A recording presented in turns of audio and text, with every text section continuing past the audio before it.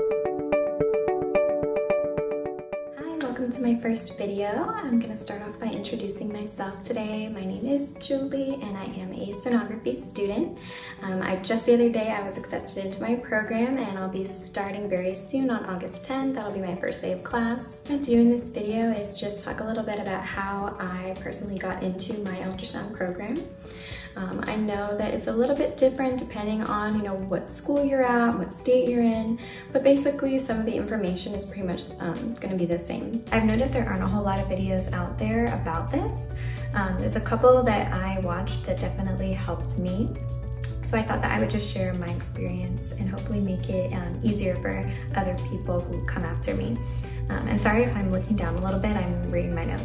To do ultrasound, it's a very competitive program. For my program specifically, about 100 people apply every year and 16 people are allowed in. There's a lot of reasons why um, the programs are competitive the way that they are. The biggest reason is that you're gonna be at clinical, actually learning how to scan patients, and there's only so many clinical sites, you know, depending on your area. So your professors are gonna be literally holding your hand, showing you how to scan a patient. So there has to be a good ratio between the professors and the number of students. So the class sizes are very small for those reasons. You know, also it's, you know, a job in the medical field. So they obviously, you know, want the best of the best students who are gonna succeed in the program. So there's two big things that your schools are gonna look at to determine your acceptance to the program. For my school, um, it's going to be purely on the TEAS test score and on your GPA for the prerequisites. So I'll talk about that a little bit later on. Um, first, I just want to talk a little bit about what ultrasound is. So basically, ultrasound is a procedure um, that's done by a technician and then the radiologist looks at the exam afterwards to make a diagnosis. So basically, you are helping the doctor to make a diagnosis with these images that you're taking. And you get the images by scanning the patient with a probe that sends sound waves to the organ and then reflects back. That's what produces the image that the doctor will look at. So as far as pay, for ultrasound technicians, you're looking at around $70,000 is the median pay.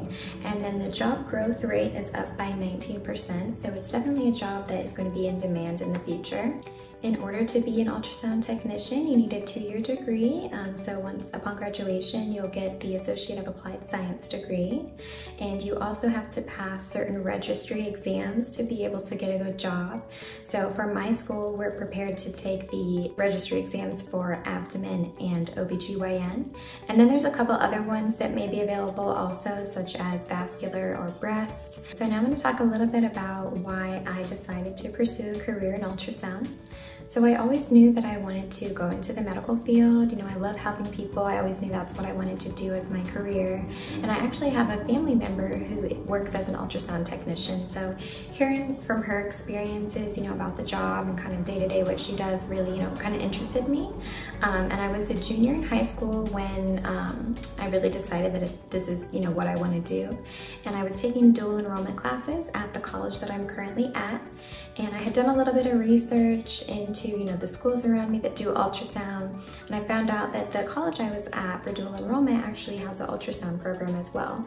So it really just seems meant to be. I loved the school already as a dual enrollment student, so I knew I was gonna love it, you know, actually going into my career. So right then and there, I, you know, went ahead and jumped on it and decided this is what I'm gonna do, and I've been working for it ever since. So once you decide that you do want to have a career in ultrasound, you need to make sure that you choose a really good school.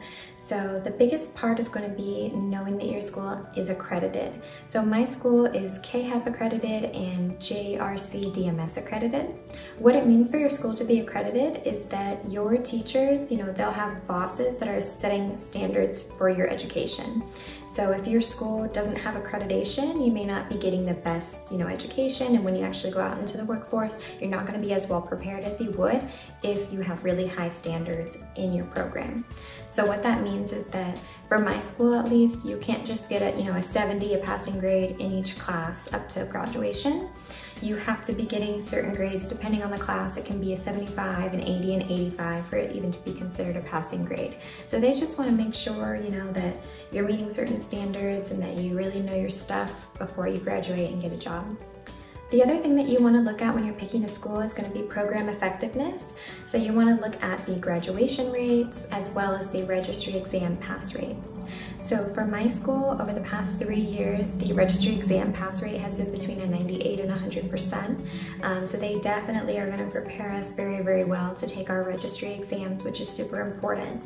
So since the program is so competitive, um, what they're gonna look at is gonna be your GPA um, for your prerequisite classes. So the prerequisite classes include English, psychology, algebra, statistics, physics and lab, um, any humanities or fine arts course, anatomy one and lab, and then anatomy two and lab. So once you take all those classes, then you can go ahead and apply to the ultrasound program.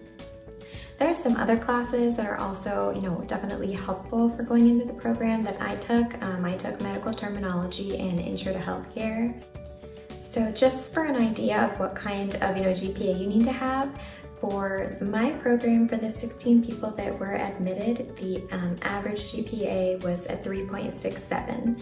So you definitely wanna, you know, make sure that you're getting, you know, at least like a 3.5 or above in your prerequisites to be considered as a real applicant. My advice that I can give you is just don't overload yourself. You know, don't try to take all the prerequisites at once and get it out of the way in, you know, one semester or even one year because it's just, you know, you might be able to take that many classes, but you need to, you know, know for yourself, are you gonna be able to do well in all of these classes because your grade matters.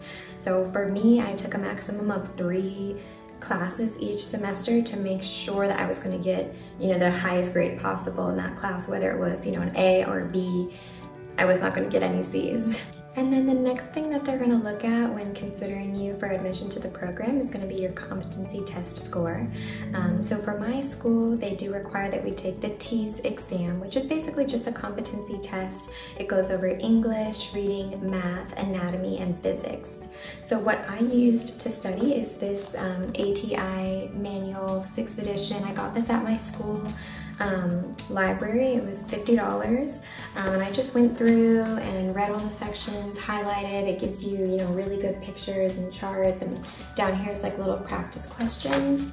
And once you complete, you know, each section, it gives you like a practice exam, which actually adds up to the actual amount of questions on the real exam. So you can give yourself like a real grade. Um, and my, you know, I graded myself right here. My grade on the practice test was an 87. And that's actually the same grade that I got on the actual TEAS exam. So I would say this book or you know any practice book out there, especially this one, is going to be really, really helpful and it's definitely going to tell you what your actual grade on the test is going to be. So if you're doing well with that book, you're definitely going to do good on the test. And to give you an idea of the test score that you might need in order to get into your program, for my school, the 16 people that got in, the average score was an 84, and again, mine was an 87. So you definitely wanna make sure you're getting at least, you know, somewhere in the 80s to really be considered for the program. The other um, method that I used to study was actually an app on my phone called Pocket Prep.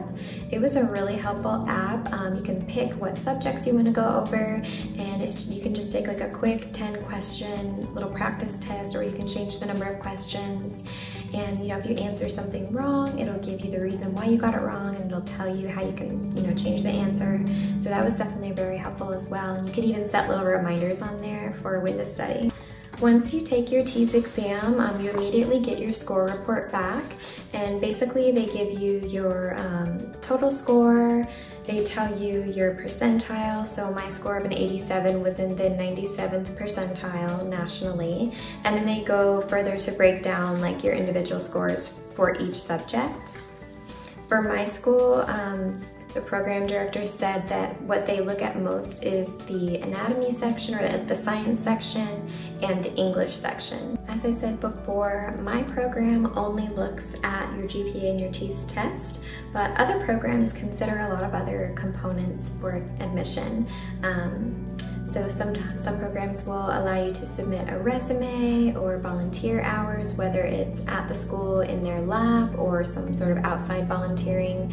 Um, you can also sometimes submit a letter of recommendation. So my school used to accept those things, but the year before I applied, they stopped doing all of that and they only looked at test score and GPA. So it was definitely good to know that ahead of time um, because, you know, I had been working in the medical field two years prior, so that would have been great if I could, you know, use my resume to get in and letters of recommendations from the doctors that I worked for, but Unfortunately, they did not consider any of that. So it was at least good to know because then in my last couple of classes, you know, I was able to make sure that I was getting A's so that I'd be able to get in. Definitely look into your school, see, you know, what specific things they're gonna look at for acceptance and focus on those areas. Right, and that's basically everything. Um, that's how I got into my program. I hope that I was able to give you guys some good advice and some tips and maybe just some information that you didn't know before to help you with, you know, getting into your program. I am just about to register for my classes and what I'll be taking this first semester is Foundations of Sonography, Sectional Anatomy and Normal Sonographic Appearance, Sonographic Physics and Instrumentation, and then I'll start my first clinical. So once I get into the semester and, you know, started and everything, then I'll definitely, you know, make another video talking about my experience and I'll answer any questions that may have come up from this video. So if you do have any questions or you want me to talk about anything else specifically, um, leave it down below and I'll, you know, get to it in my next video. Thank you so much for watching. Bye.